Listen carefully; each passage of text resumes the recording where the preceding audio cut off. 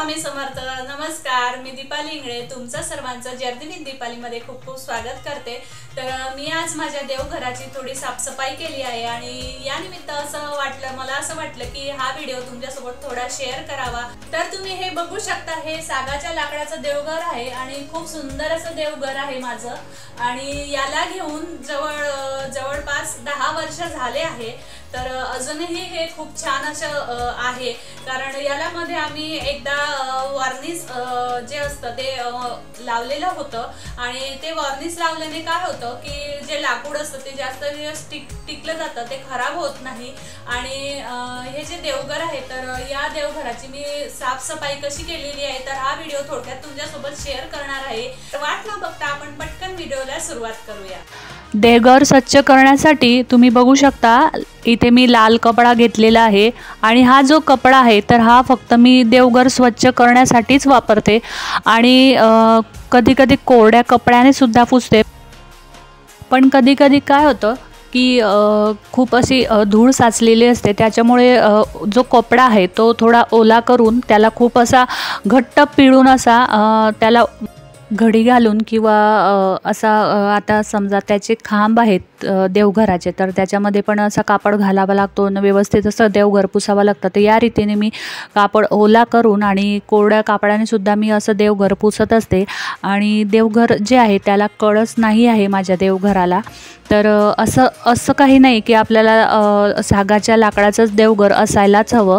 पण लाकडाचं जरी असेल साध्या तरीसुद्धा चालणार आहे. संगमरवरी असेल तरीसुद्धा चालणार आहे. इवन तुमच्याकडे जर देवघर नसेल आणि तुम्ही जर एका लाकडाच्या लाकडाच्या पाटावरती किंवा चौरंगावरती जरी देव ठेवत असाल तर तुमच्या मनामध्ये जर श्रद्धा असेल तर ती कुठेही देवापर्यंत पोचते फक्त आपल्या मनामध्ये श्रद्धा असायला हवी. पण हे जे देवघर होतं तर आमचं लग्न झाल्यानंतर आमच्या घरामध्ये देवघर घ्यायचं होतं आणि त्या निमित्ताने घेतलं तर मग आम्ही असं चांगलंच घेतलेलं.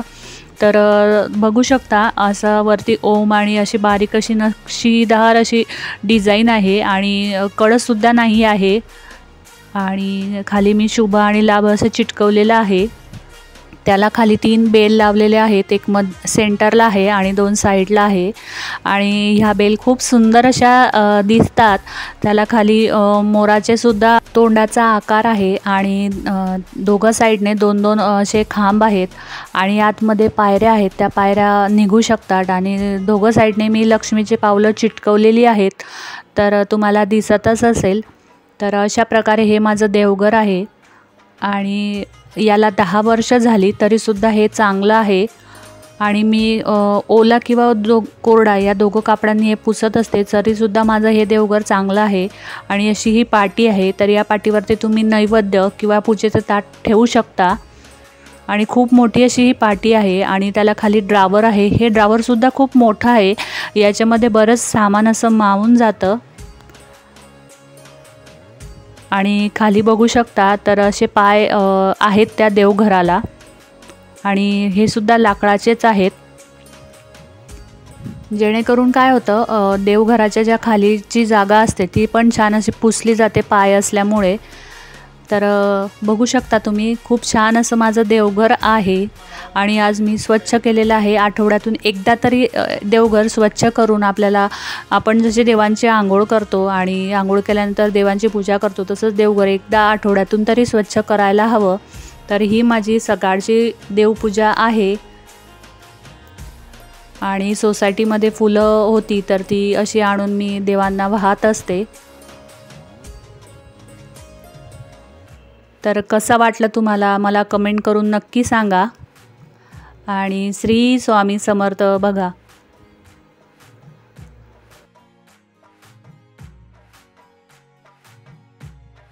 तर तुम्ही बघितलंच असेल आता जी देवपूजा केली तर मी ती सकाळची केलेली होती आणि आता जर तुम्ही बघत असाल तर ही माझी संध्याकाळची देवपूजा आहे. इथे मी तेलाचा दिवा लावलेला आहे आणि इथे मी तुपाचा दिवा लावलेला आहे. तुपाच्या दिव्याने मी नेहमी आरती करत असते आणि तेलाचा दिवा हा देवापाशी लावलेला असतो आणि हा जो दिवा आहे हा तिळाच्या तेलाचा दिवा आहे.